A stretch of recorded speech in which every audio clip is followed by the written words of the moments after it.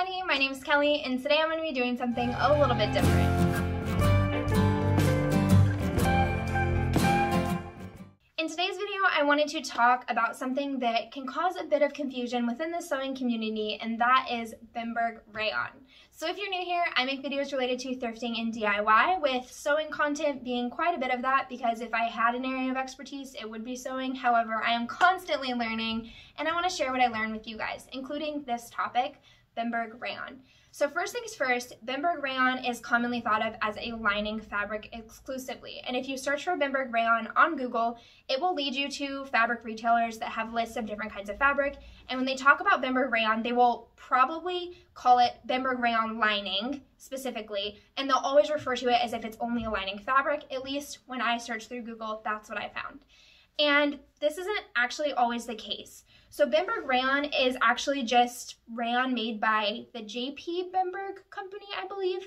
And Bemberg rayons are a specific type of rayon in that they are cupramonious rayon, but that is not specific to Bemberg. It's kind of like calling a jacuzzi a hot tub, like a jacuzzi is a hot tub, but all hot tubs are not jacuzzis. It's kind of the same thing. And if you've had experience with Cupro or Cupra rayon, as well as ammonium silk, which is a very less commonly used term than Cupra or Cupra, those fabrics are all the same thing as Bemberg rayon.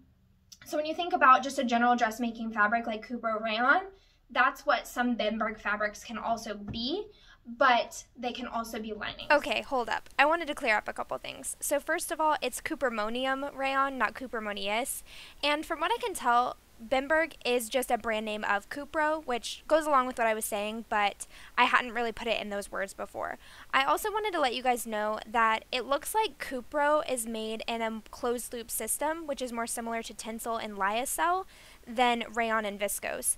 But the thing to keep in mind is that all of those fabrics that I just named are all rayons. It's just that Tencel, Lyocell, and apparently Cupro as well are all produced in a closed loop system, which means they're not nearly as bad for the environment as their siblings. So um, that's just good to keep in mind if you're trying to be more sustainable. I found that really interesting because I previously hadn't really talked about Cupro on my channel, even though I've done some videos related to fiber content before. So that's just what I found from looking on a few different websites. But if you have any knowledge about this and want to drop it down below, that's great. And if you have any questions that you want to leave down below, feel free to ask those as well.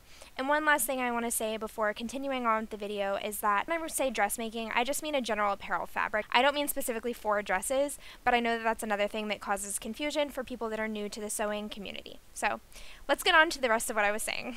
So I feel like that was a very long-winded way of explaining that. At the end of the day, Bemberg rayons can be either linings or dressmaking fabrics. And I would say that the linings are way silkier than the like regular dressmaking fabric. So I have a Bemberg rayon here. This is from a Thrifty Notion. I will link the shop down below. I do work at a Thrifty Notion, just a disclaimer, but I'm not paid to talk about a Thrifty Notion in my videos. I just do it because I love what we do. We sell exclusively secondhand and dead stock fabric. So if you're like me and want to be more sustainable with your sewing, I would definitely check it out. So this fabric is a Bemberg rayon, but it feels very similar to just a regular rayon challis. The thing about Cupramonious rayons though is that they are meant to feel slightly more like silk. So I'd say that's true of this fabric based on all the silks I felt and all the rayons I felt. I would say this does feel slightly more like silk than some other rayons. But unless you've had a ton of experience with a ton of different kinds of fabric, you probably won't know the difference. So this fabric does feel just like basically another rayon fabric if we're really getting down to the nuts and bolts of it. And Bemberg rayon just refers to the company that produces it, but it's very similar to Cupra or Cupro rayon. And that just has something to do with the way that the rayon is produced and the chemicals that it is produced in, as opposed to the chemicals that are used in the processing of some other types of rayon. So I hope that clears some things up for you guys. I hope you enjoyed this video. And if you enjoyed this style of video, please let me know down below. Give it a like, whatever you want to do. And if you haven't yet subscribed, then please consider subscribing. I'd also love it if you check me out on Instagram. I don't post very often, but if you want to keep up with some more behind the scenes stuff, um, maybe see some pictures of my cats, I would love to see you over there as well. And like I said, if you like this style of video, please let me know because I think I could do little short videos like this in addition to my normal weekly videos. I am trying to post post every single Friday a bit a video that's like thrift related or DIY related. Um, I'm having trouble getting them out every single week at the moment just because my schedule's a little bit weird and Will and I are still figuring out where we're going to be living. But once I figure that out, I will be shooting to get a video out every Friday. And I would love to do a short little video like this in addition to those videos, maybe on a Wednesday. Um, so if that's something you're interested in, please let me know. And yeah, thanks again so much for watching this video. I hope you guys enjoyed it, and I'll see you next time.